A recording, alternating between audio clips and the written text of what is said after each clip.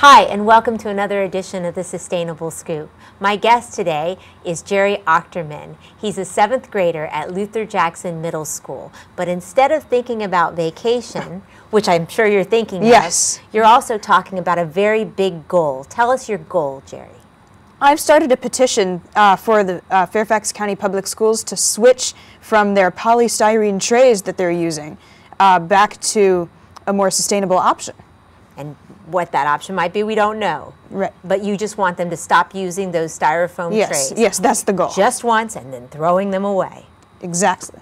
All right, well, you recently talked to the school board in Fairfax County, and we have your speech. So we're going to go ahead and watch it now. Great. Let's watch. Come before you uh, to speak about the process for approving the budget plan. The process should address whether the budget should include some funding for switching to non-polystyrene lunch trays in FCPS cafeterias. These trays, as you know, are sent to a facility that burns the trays for energy. That sounds good until you learn that polystyrene, or styrofoam, contains the chemicals styrene and benzene. Both are suspected carcinogens and neurotoxins, and styrene leaches into food and drink that comes into contact with it. Exposure to styrene is also linked to skin irritation, chromosomal damage, fatigue, lack of concentration, and thinking and learning disabilities. It should be self-explanatory that polystyrene is hazardous to human health. Polystyrene is also detrimental to the environment. It is petroleum-based and the second most detrimental material to Earth, according to the EPA. I did the math, and if 140,000 students in FCPS buy lunch in schools every day, that's 25,200,000 polystyrene trays that are getting burned each year, and a lot of nasty chemicals.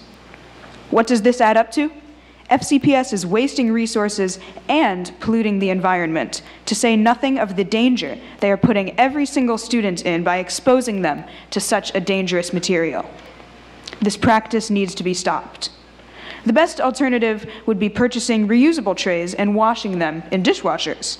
But this would be difficult to do in the short term because it would have a high upfront cost, although it would be cheaper in the end since most trays would not have to continually be purchased. An alternative that could be adopted more quickly is to switch to biodegradable or compostable trays. There are many options, such as paper, cardboard, cornstarch, and even palm leaf, and the cost of purchasing them may not even be higher than polystyrene. Even if it does cost a little more money, it is better than the health costs of exposing our students, teachers, and community to the dangers of polystyrene. I have started a petition to urge the school board to phase out the use of polystyrene in our cafeterias. Hundreds of people have signed already, and I am continuing to publicize it and get more signatures. The Washington Post recently reported that six of the largest school districts in the country have stopped using polystyrene. Arlington and Montgomery County Public Schools are following suit. Fairfax County needs to be next. I hope the school board will address this urgent issue immediately for the sake of the environment and the health of students. Thank you. Jerry, that was a fantastic speech. Thank you. You cited facts, you stayed on point, and you know, what I really was touched by was you conveyed the emotion that I hear so many young people feel about how policymakers fail to protect the environment. Thank you. I was so glad I was able to do that. Now, Fairfax County is enormous, over 200,000 yes. students um, are in the schools, and it's a gigantic county. What kind of response have you gotten? Um, I've gotten a lot of uh, very good responses from signers of my petition. Tell us what they what they uh, said. Among them is there is no there's really no good reason to continue the use of polystyrene when there are so many viable ecologically sensitive alternatives. Please make the switch. Tell us another. Uh, it's horrifying that schools are still using toxic substances to feed food to children, a population that is so vulnerable to toxins. May I read one? Yes. We don't need these dangerous materials in our children's schools or landfills. Do what Jerry says. Another one, it's the 21st century. We know of better alternatives for our children's health and our planet. There's no excuse for having these toxic trays in our schools.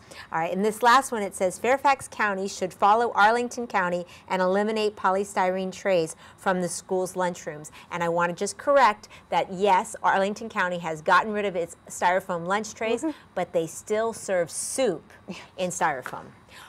All right, that's all the time we have. What do we need people to do? Uh, if you've not done so already, please sign my petition online and uh, share the link to the clip on uh, your website with everyone, you know, with everyone you can, and post it on Facebook and Twitter to just get more publicity for this endeavor. Because we will do that. Jerry. Thank you. We will do that. And and viewers, so again, please go to the Sustainable Scoop on YouTube and um, you know look up Jerry Achtermann. I'm Miriam Gennari. That's the Sustainable Scoop. Back to the news desk.